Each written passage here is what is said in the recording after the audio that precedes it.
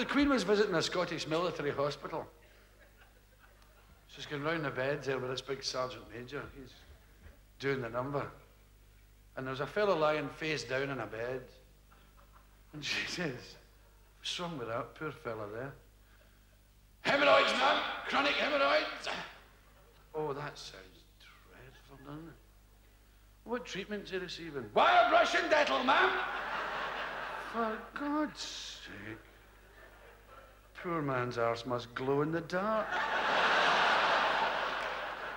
the poor guy's giving a, oh, no. I can hear voices. They must be coming again. he goes away over. The queen goes away over and she says, hello, soldier. Have you any ambition left in life at all?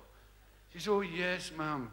To get rid of this disgusting affliction and get back and do my duty for you and the country. How noble. Give this man a medal, will you? Pin on the back of his pajamas. All the best. Cheerio. Tell them not to come and get me. Right? I'll tell them. Don't you worry about a thing. Up to the next bed, and there's a guy lying like this. Oh, no. He's got a thing covering the hair, you see. Oh. This is what's wrong with that man there. Venereal disease, ma'am. Self-inflicted injury. oh, yes. I've read about it in a book once. Mm -hmm. What treatment does he receive? Wire brush and Dettol, ma'am. Oh, for God's sake. Oh, hey, oh. oh, my goodness. Poor man's Willie must be in tatters. so she goes away over. And she...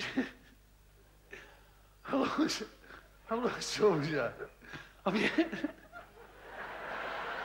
it's okay for you. I'm getting the picture. So look, soldier.